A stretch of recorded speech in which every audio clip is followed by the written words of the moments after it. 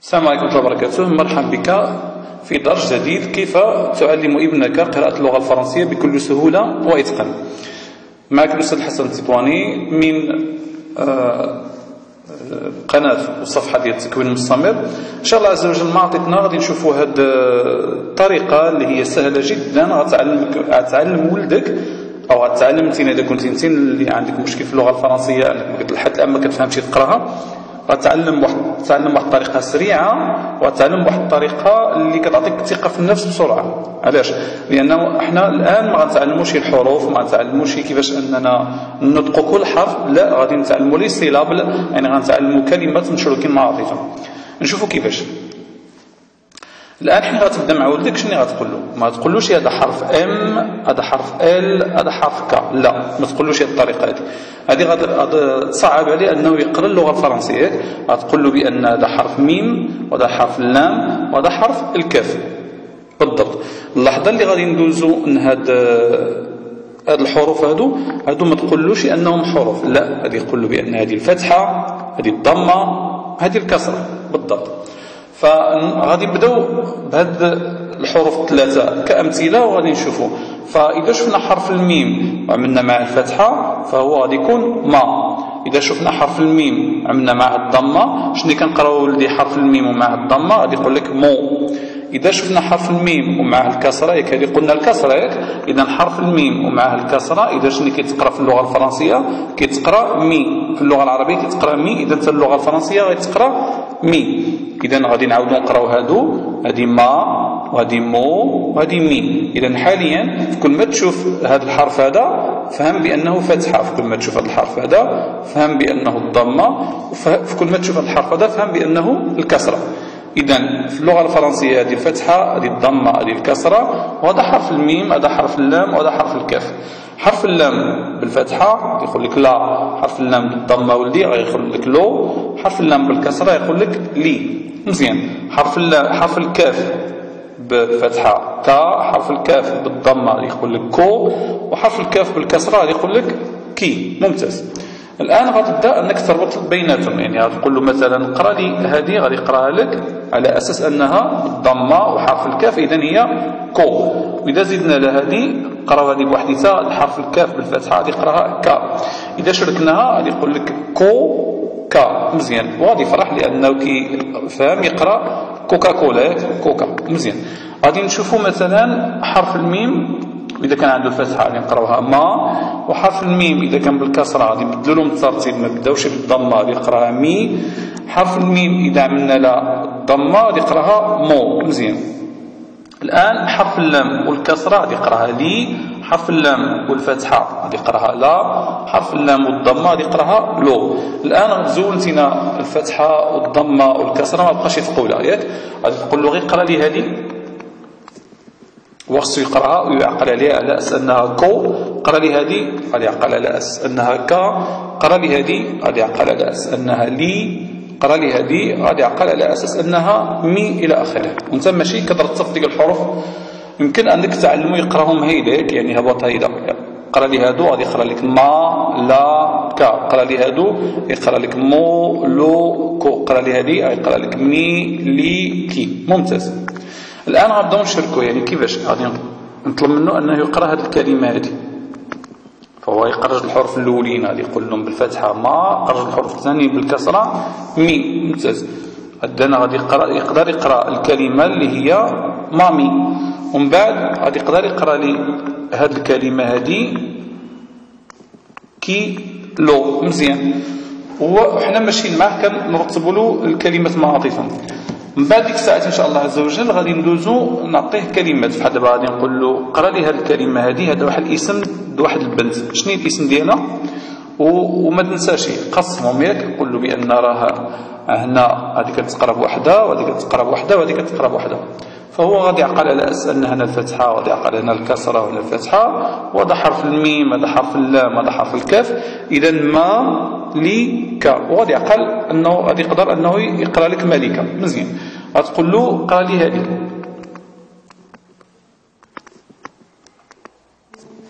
اذا طبعا دائما حنا مقسمينها ثلاثة الأقسام.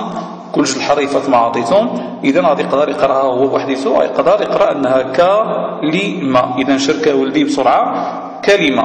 وأنا ماشي كنعطي يعني مثلا نقدر نعطيه كلمات من هذا النوع هادو قرا لي هذه قرا لي هذه وقرا لي هذه واخا نعاود له شي حاجة كنقراها. بدا قرا لك كوكا ليما مالي وهو ماشي كيرتب فيهم. مزيان. الآن غادي ندوزو شي حاجة أخرى جديدة. بالنسبة لي هاد الحريفات ساعة ساعة كل نهار غادي نزيد له شي شوية ياك دابا لاحظتي هنا زيدنا حرف الفاء وزيدنا حرف الطاء هنا كان عندنا غير ثلاثة ديال الحروف الميم واللام والكاف. الآن زدنا آه، الدال وزدنا الفاء وزدنا الطاء ويمكن تخلي حتى الكاف ديالك هنا مزيان. هنا غادي نتعلموا في هذه الصفحة هذه الواو.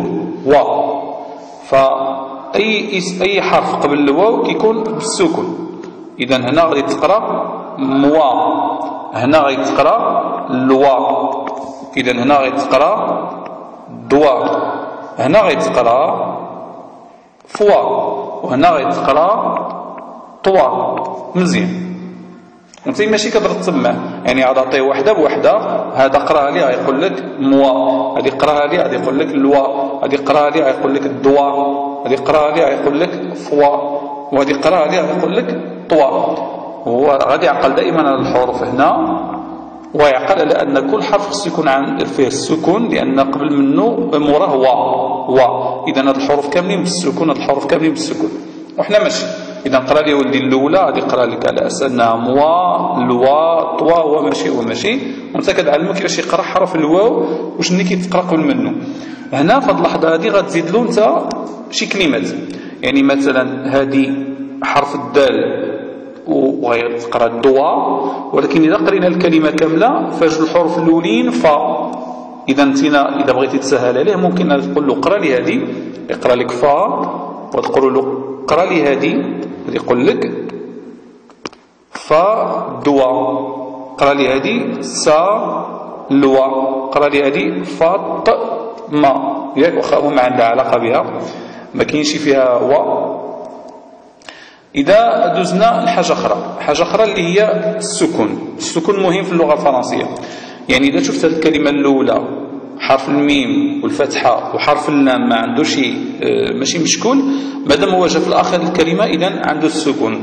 إذا غادي نقرأ هذه ما ل إذا نقرأها بالزربة ولدي يقرأ لك مال قرأ لي هذه يقرا لك فال قرا لي هذه يقرا لك دال. لاحظ بأنني كل مرة بدلت حرف واحد فهنا كان الميم والفاء والدال.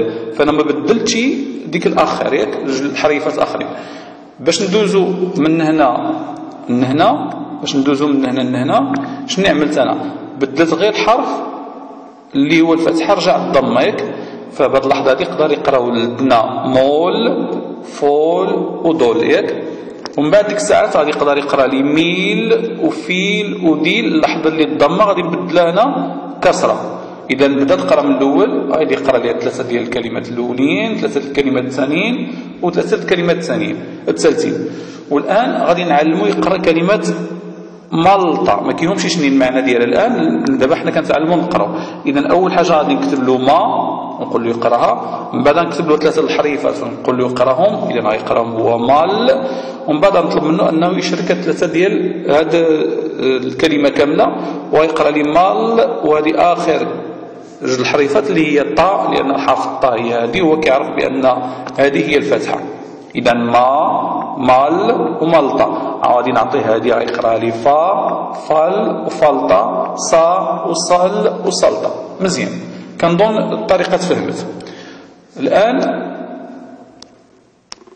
غادي ندوزو الضمه الضمه في اللغة الفرنسية أنا ننصحك بأنك تضيف له شوية شوية. واحد النهار علمو يقرا بهذه واحد النهار يقرا بهذه واحد النهار بهذه واحد النهار بهذه وانت ماشي ياك علاش؟ لأنه ما كيبقاو يتخلطوا. ممكن أنك تعطيه هادو مع بعضيتهم لأن عندهم نفس نفس الطريقة ديال النطق ولكن حتى الآخر في الأول اعطيه غير هذه. يعني غادي يقرأ لي هذه مو وغادي نعمل الفاء ونعطيه له هذه غيقرا لي فو غنعطيه الدال ومع هذه يقرأ لي دو وحنا ماشي. النهار الثاني غادي نعطيه هذه إذا غادي يقرأ لي مو بهذه الطريقة هذه. ياك؟ ومن بعد غادي نعطيه الفاء ويقول يقرأ لي هذه يقرأ لي فو ونعطيه مثلا آه، نعطيه مثلا اللام وهيدا ويقرأ لي لو وحنا ماشي كنظن فهمنا. اذا حين غادي يتعلم يقرأ بهم كاملين غادي نعطيه غادي نفهموا الفرق بيناتهم. اذا هذه مو غادي بدا مو إلا أن هذه رقيقة شوية بحال اللي كتعمل ديك البقرة ياك؟ إذا البقرة كتعمل مو ياك؟ اذا هذه مو اذا هذه دو وهذه لو وحنا ماشي من بعد غادي نعطيه هذه. هذه غتكون رقيقة شوية عليها. م م هذه في حال هذه مو مو. هادو بوحديتهم اللي حالات خاصين جوج بيهم. هذه بحال البقرة بحال اللي قلنا ياك. وهذه م م أو لا لو ولا كو ياك. نعلموا الفرق بين هادو ومن بعد نفتشلوا على كلمات. من هذا النوع هذا فما فهمتي منين نجيب الكلمات نعمل غير في جوجل آه مثلا الكلمات اللي نقول مو مو ونعمل avec avec ونعمل واحدة من هذو اللي عندي في الغلط فيهم. avec مثلا هذه وهذا عطيني مجموعه عطاني لائحة ديال يمكن تعمل ليست أنا قبل باش تعطيك لائحة. اكتب هذه هذه الجملة هذه في جوجل وغادي تعطيك آه، واحد مجموعة ديال الكلمات ب كيتكتبوا بمو ومن بعد في عوض هذه غنبدل وغادي نعمل مثلا اللي كيتكتبوا م ويعطيني واحد مجموعة ديال الكلمات بهم ديك الساعات أنا غنبقى نعطيهم له غنقول له قرا بهم باش أنه يرجع بالنسبة لي له سهل. كنتمنى الله عز وجل أن الطريقة تكون سهلة ياك؟ أه طلب منك أنك تسجل في القناة ديالي في يوتيوب ياك؟ وفي الصفحة ياك؟ اللي بجوج بهم عندهم نفس الاسم ديال التكوين المستمر. أنا اخترت هذا الاسم ديال التكوين المستمر الهدف هو انه يكون عندنا مجموعة المسائل كنتعلموها مع عطيتنا. ماشي غير اللغة الفرنسية ياك؟ كنتعلموا كيفاش نكونوا ناجحين في الحياة ديالنا. لا المهنية ولا الأسرية ولا الشخصية إن شاء الله عز وجل ولا في الصحة ديالنا. يمكن نذكروا واحد المواضيع. اللي اساسي الان هو ان كاين واحد السلسله ديال français 5 pour 5 اذا كنتي لحد الان باقي ما شتيهاش كاين أو اول فيديو في, في غتجبرها في تحت هذا الفيديو هذا الرابط ديالو غنجبرو تحت هذا الفيديو. شوفوا مجانا آه هذه السلسلة هذه الهدف ديالها هو أن تعلمك يعني طبعا خص يكون عندك واحد واحد المستوى في اللغة الفرنسية يعني مثلا عندك القسم الثاني ولا الثالث والرابع ولا المهم واحد الانسان اللي ينسى اللغة الفرنسية الآن كيجيه صعوبة أنه يتعلمها بوحديته أو أن المدرسة لحد الآن يعني رغم أن المدرسة يم يتعلم فيها ما علماتوش فهذا français 5 pour 5 ولا 5 fois 5 غادي علمك كيفاش تبدأ تقرأ اللغة الفرنسية وتفهم اللغة الفرنسية بواحد السهولة إن شاء الله عز وجل. شوية شوية وانت ماشي كتعلم علاش؟ لأن غادي تعطيك مجموعة المصطلحات مجموعة ديال الكلمات مجموعة ديال الأفعال. أه الطريقة ديالها هو أننا غادي نعملوا خمسة ديال الأفعال في النهار خمسة الكلمات في النهار وكنكونوا بهم من 10 حتى 25 جملة. هذه يوميا ياك؟ وكنعملوا بهم جمل وديك الشيء من بعد ما نفهموا المعاني ديالهم ونتعلموا شوية لا كونجيغيزون ديال ديك الأفعال. ومن بعد ديك الساعات غادي في الأسبوع غادي نعملوا خمسه خمس أيام. يعني خمسة الكلمات في خمس أيام خمسة الأفعال في خمس أيام وخمسة وعشرين جملة في خمس أيام وتشوف أنت شحال من نتيجة كتجيب. ومن بعد ديك الساعات غادي نعملوا في كل في كل شهر يعني في كل شهر غتكون انت وصلتي 25 غادي نضربوها في أربعة تعطيني 100 فعل و100 اسم وتكون تقريبا هنا تعطيني 500 آه، جملة. 500 جملة كافيين باش أنهم يعلمك واحد المجموعة ديال الأمور اللي إن شاء الله يعني تعلم تتكلم تعلم تفهم تعلم تقرأ اللغة الفرنسية غتكون هذا المستوى الأول. الشهر الثاني كذلك الشهر الثالث كذلك. إن شاء الله عز وجل. المهم التفاصيل كيف الفيديو تحت آه، ضغط على الرابط وغتشوفوا إن شاء الله. السلام عليكم ورحمة الله وبركاته.